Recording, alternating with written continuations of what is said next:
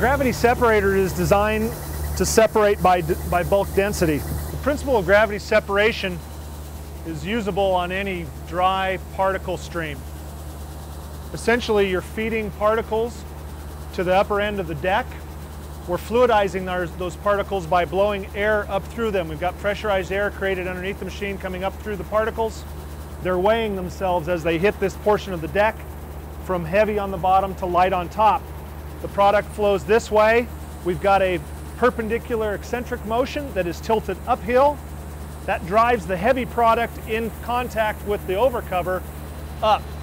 It allows the light product to flow over the top and consolidate here on the light rail. This particular machine is doing a very nice job of taking out a very light contaminant and also as you can see at the top end of the deck, a very heavy gritty contaminant all separated from a very good particle flow in the middle. This separation is, is basically allowed by an adjustment of five different things on this deck. Three of them are going to affect the quality of the separation. Those three things are the airflow up through the product stream, the eccentric motion of the deck, and also the side tilt of that deck. As far as the other two, they, they are basically built around capacity and they're end raise of this particular deck and also the feed rate that you see here.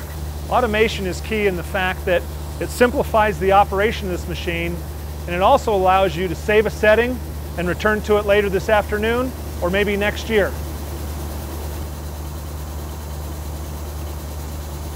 If you look at something in this situation where you create too much air, as in this case, you'll see your separation goes to pot We've got heavy material coming down into our light material. I can adjust that very simply by going back to the same air setting I had previously. You'll see the heavy product sink back to the deck and move back uphill and react as a heavy particle. The other aspect of quality can be affected by the amount of side tilt that we put on this deck. If I shut the side tilt down to a relatively low angle, you'll see that we lose consolidation of our light product here and we start to get contaminant back into the good material. As the side tilt is again angled up, the heavy particles will start to come back down and give us a nice even depth of bed across the machine this way. And our light product again starts to consolidate against the rail where we can discharge the contaminant. The other aspect of quality separation is the control of our eccentric speed.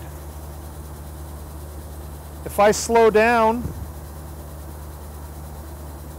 the eccentric speed by quite a bit, you'll see that we're not driving the heavy material up to the high end of the deck anymore. It's allowed to flow back down and you have this problem as we see up there, that heavy contaminant is no longer consolidated against the high rail on the machine.